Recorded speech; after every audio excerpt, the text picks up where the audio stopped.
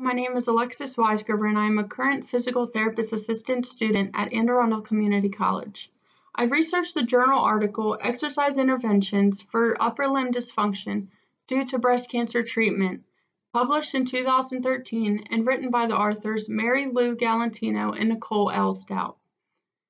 The purpose of this was to determine if an exercise program that specifically targets the upper limb and given preoperatively, postoperatively, along the course of chemo and radiation therapy, and following treatment can help reduce upper extremity impairments the patients diagnosed with breast cancer.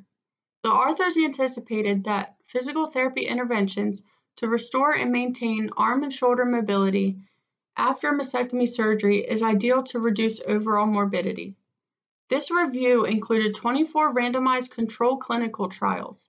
Out of the 24 trials, 10 examined the effects of early versus delayed completion of postoperative upper limb exercise, and 14 examined the effect of structure upper limb exercise versus usual care intervention.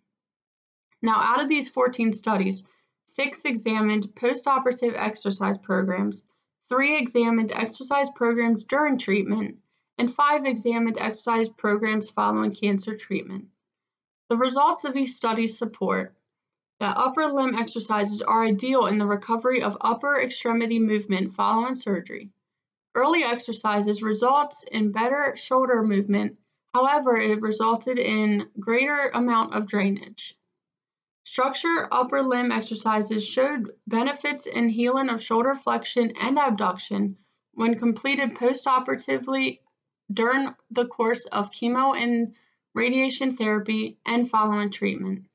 Upper limb exercises following treatment was known to improve the quality of life to patients, which is important to their mental health and physical health.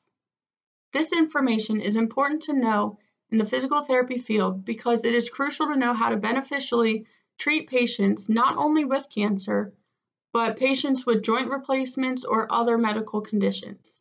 It is always good to know if physical therapy is beneficial to patients either preoperatively, during treatment, postoperatively, or following cancer treatment.